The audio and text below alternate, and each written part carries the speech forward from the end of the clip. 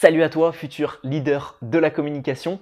C'est William. Bienvenue mon ami au sein de cette nouvelle vidéo. Comme chaque lundi, un petit café, installe-toi tranquillement chez toi. Et puis dans cette vidéo, on est parti pour parler de la méthode CABP, un anagramme qui signifie tout simplement caractéristiques, avantages, bénéfices et preuves pour te permettre en fait eh d'argumenter un petit peu plus efficacement lors de négociations que tu peux avoir ou lors de communications que tu peux avoir avec certaines personnes pour arriver à eh bien, préparer et faire efficacement ton argumentaire de vente. Donc, bah, je vais te donner la définition de l'anagramme, je vais t'expliquer un petit peu tout ce qu'il y a autour de l'argumentaire de vente, la phase de découverte, la phase de closing à la fin, et puis après, bah, après l'argumentaire, qu'est-ce qui en découle. Et puis, bah, je vais à chaque fois te donner des exemples concrets, des exemples concrets de cette méthode. Petit coup de café, et puis on est parti. Alors, avant euh, la méthode CABP, l'argumentaire de vente, tu vas avoir la phase de découverte. C'est fini le temps, euh, même d'ailleurs c'est fini, moi je ne l'ai jamais connu, mais le temps où on utilisait des stratégies de push. C'est-à-dire qu'on arrivait, on mettait sous le nez du client euh, un argumentaire de vente, on ne s'intéressait même pas à lui, et puis bah, est-ce que ça marchait, est-ce que ça marchait pas, hop, et puis on passait au suivant. Ça, c'était vraiment du push, et c'était pas très intéressant. Aujourd'hui, on est vraiment dans une ère nouvelle au sein de la communication et de la vente, et on est plus sur une phase de conseil plutôt que de vente. Et ça, c'est très enseigné aujourd'hui dans les écoles de marketing, les écoles de vente, les écoles de commerce. Pourquoi? Parce qu'aujourd'hui, on ne voit plus la vente comme de la vente pure, mais comme de l'aide au client, comme le fait de lui apporter une solution durable et pérenne, et puis essayer bah, tout simplement d'avoir des clients sur le long terme et de vendre de manière éthique. Parce qu'il y a eu beaucoup de mauvaises choses qui ont été faites autour de la vente, que ce soit des erreurs de communication ou autres, et des abus qui ont été faits. Donc aujourd'hui, on est sur une ère nouvelle. Et avant l'argumentaire de vente, tu toute la phase de découverte où tu vas ben, découvrir les besoins des clients, découvrir et analyser un petit peu quels sont ses points de frustration, etc. Et ensuite, tu vas mettre en place et tu vas adapter à ça ton argumentaire de vente. Donc, fini la phase de push où on va vraiment euh, rentrer directement avec l'argumentaire de vente. D'abord, il faudra passer par une phase de découverte. Ensuite, une fois que tu as mis en place ça et que tu as découvert un petit peu qui tu avais en face de toi, eh bien, tu vas pouvoir mettre en place ton argumentaire avec la méthode CABP. Donc, on est parti pour le premier, euh, la première lettre de cet anagramme, le C de caractéristique. Donc le premier C, la première lettre signifie caractéristique. Tu vas devoir présenter uniquement une, deux, voire maximum trois caractéristiques différentes de ton produit ou de ton service à ton prospect. Et donc, tu vas adapter ces caractéristiques en fonction de la personne que tu as en face de toi.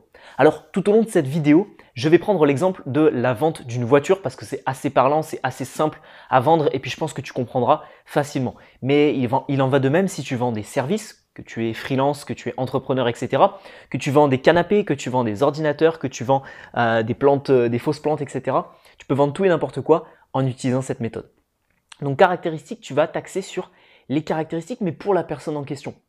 Admettons que tu as un père de famille qui vienne te voir avec deux enfants dans chaque bras, euh, enfin un enfant dans chaque bras, et qui vienne te dire bon bah je veux acheter euh, un nouveau véhicule, une nouvelle voiture.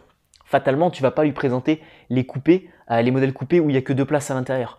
Tu vas lui présenter des caractéristiques et sur la voiture, par exemple, admettons qu'il choisisse une voiture de taille standard, citadine, eh bien en fait, qu'est-ce qui va se passer? Tu vas lui présenter des caractéristiques qui seront propres à sa situation. Donc tu vas pas forcément lui parler de puissance au niveau du moteur parce que c'est peut-être pas ce qui l'intéresse.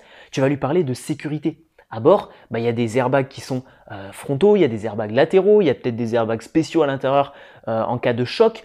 Il y a peut-être euh, de bonnes suspensions au niveau du véhicule, donc il y a une très très bonne, un très très bon châssis, etc., qui permet de ne pas ressentir les chocs et les vibrations. Donc ça c'est super quand les enfants dorment à l'arrière. Il y a peut-être des écrans ah, tu sais, sur les, sièges arrière, il y a peut-être des écrans au dos des sièges pour que les enfants puissent regarder la télévision ou n'importe quoi euh, pendant que sur les longs trajets. Tu vas vraiment présenter en détail une, deux, à la rigueur trois caractéristiques vraiment poussées en fonction de la personne que tu as en face de toi. Et ensuite, tu passes à la deuxième étape, au A, et la deuxième lettre de CABP, qui est tout simplement les avantages de ce produit ou de ce service pour ton client je sais pas moi, ça peut être des avantages, euh, par exemple, axés sur le fait que ce soit une grande marque de voiture et que du coup, des garagistes, alors sans forcément citer des marques françaises, mais des garagistes de cette marque-là, eh bien, il y en a énormément. Forcément, quand on va acheter une voiture qui est une voiture japonaise, etc., ben, on va pas pouvoir enfin, on peut techniquement y aller, mais euh, les réparations, etc.,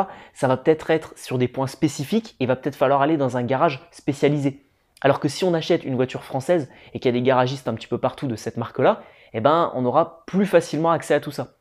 Alors, tu peux mettre en avant cet argument-là, tu peux également mettre en avant d'autres avantages. Mais l'avantage, c'est assez simple à mettre en place. Concrètement, le seul conseil que j'ai à te donner au niveau de l'avantage, c'est de ne pas dire que tu es mieux que quelqu'un d'autre, mais de dire que tu es différent. Ne joue pas la carte du bah, cette voiture, elle est mieux que celle de nos concurrents euh, allemands ou que nos concurrents italiens. Non, joue vraiment la carte de la différenciation. La voiture des Allemands, Volkswagen, etc., euh, etc., Audi, tout ça, ils font des modèles qui leur est propre. Nous, en France, on fait tel type de modèle et on a bah, peut-être plus de confort à bord du véhicule, peut-être des tarifs qui sont différents, etc. Donc, c'est pas vraiment on est moins cher que eux, c'est pas vraiment on est meilleur que eux, c'est pas vraiment on est plus rapide que eux, on a des, euh, des meilleurs délais de livraison, etc. Non, non, vraiment pas mettre ça en place, mais vraiment s'axer sur la différenciation. Nous, on fait ça. Et ça, eux, ils ne le font pas. Ok?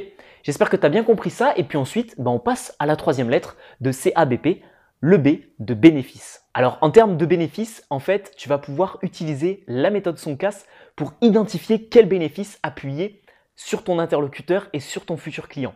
Si tu ne sais pas ce que c'est la méthode Soncas, je t'invite à cliquer juste en dessous, en bas à droite. Je crois que c'est en bas à droite, c'est ici, et là c'est en bas à gauche. Bref, tu cliques sur William Moreau, tu cliques également juste à côté sur le bouton s'abonner. On ne sait jamais si tu n'es pas déjà abonné à cette chaîne YouTube.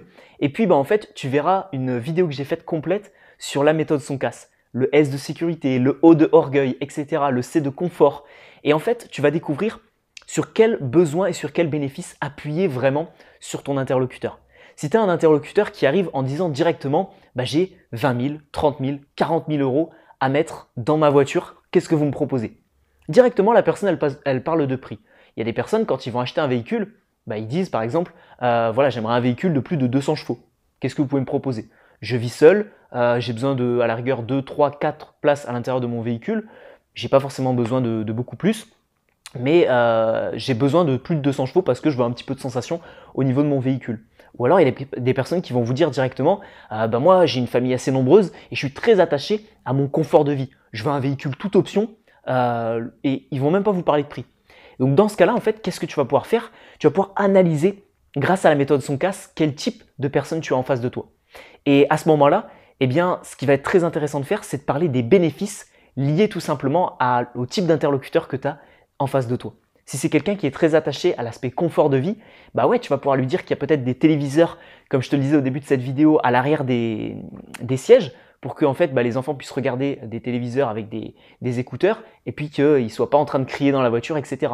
Ou alors qu'il y ait plein d'options au niveau du tableau de bord, au niveau du volant, euh, qui facilite en fait la conduite de vie et qui facilite en fait le confort de vie de euh, ton futur client. Donc que ce soit les sièges massants, que ce soit euh, le pare-brise chauffant, etc. Tout ça, ça va vraiment l'intéresser.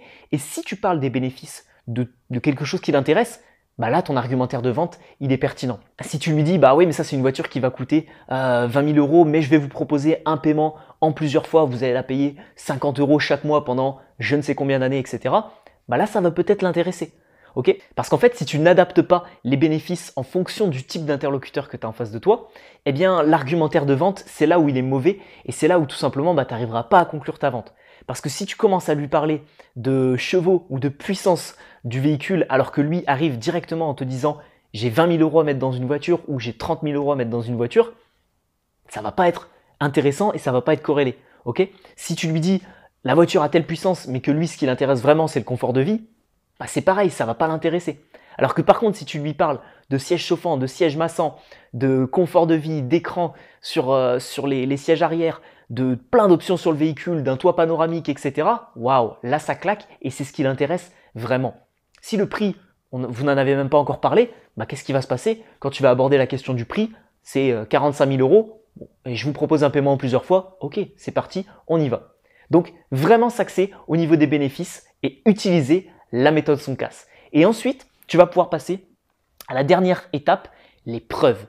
Très très très intéressant dans ton argumentaire et pas dans le dépassement de tes objections, de mettre des preuves concrètes, des avis, des témoignages, la renommée de l'entreprise et la renommée, bah, par exemple pour euh, une marque de voiture, la renommée de la marque de voiture en question, etc. Je sais pas, on va prendre d'autres petits exemples. Admettons que tu fabriques des, des, pièces de souvenirs, par exemple des mugs de souvenirs. Eh bien, tu vas pouvoir dire que la plupart des gens reviennent l'année d'après. Et puis, bah, par exemple, tu achètes 2, 3, 4, 5, 5, mugs pour tout simplement les envoyer aux personnes de leur famille.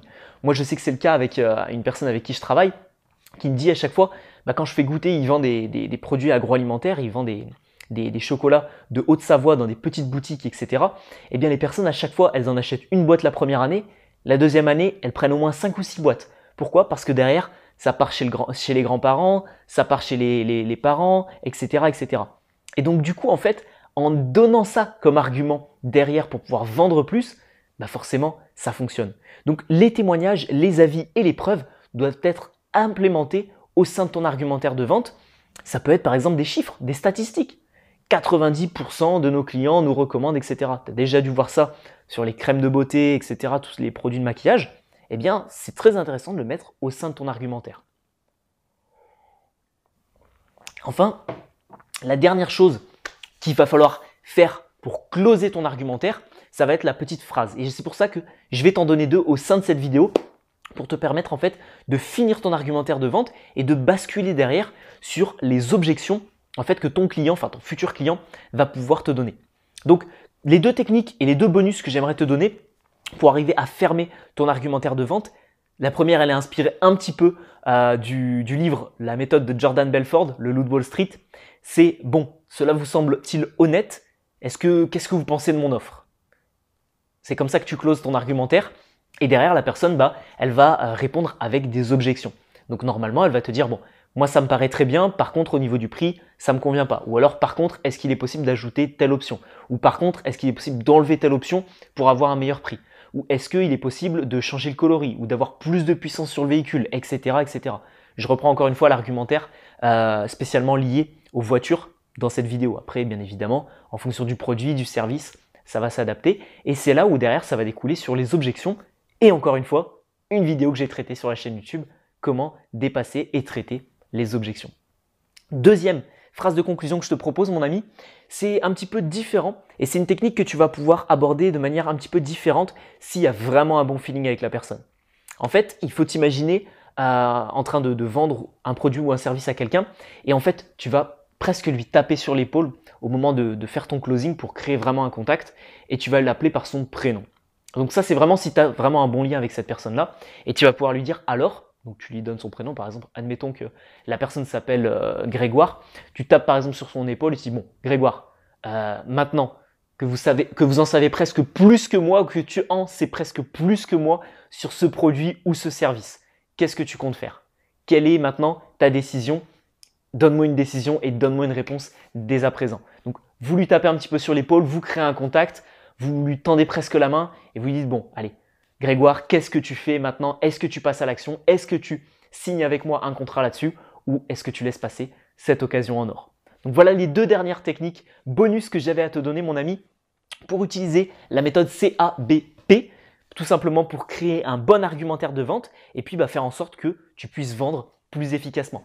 Si la vente, la négociation, la prospection, le marketing ou le fait de devenir un leader charismatique en communication t'intéresse, tu es libre de suivre gratuitement une formation complète sur la prise de parole en public, l'aisance relationnelle. Ça s'affichera juste ici. Tu as une petite miniature qui s'affichera, tu pourras cliquer directement sur ton écran. En fait, c'est un cours en ligne gratuit que je t'offre de 5 vidéos pour te permettre d'améliorer encore plus eh bien, des petits détails qui vont vraiment faire la différence. Ça peut être l'intonation de ta voix, ça peut être bah, ton ice contact, ça peut être ton aisance en vente, en négociation Est-ce que tu es assez à l'aise? Et puis ça peut être aussi savoir mieux structurer tes propos. Donc tu as juste à cliquer juste ici, puis tu as deux autres options. Si tu veux également développer tes compétences en communication, tu t'abonnes juste en dessous, je crois que c'est juste ici. Et puis bah, tu peux aussi suivre un accompagnement personnalisé avec moi-même, cours en ligne, plus coaching, sessions d'accompagnement dans lesquelles je vais t'aider à améliorer ta force de vente, ta négociation, ta persuasion pour un entretien d'embauche, pour vendre tes propres produits et services ou tout simplement pour vendre les propres produits et services de ton entreprise. On se retrouve pour une prochaine vidéo Futur Leader. Prends soin de toi. C'était William. Ciao ciao.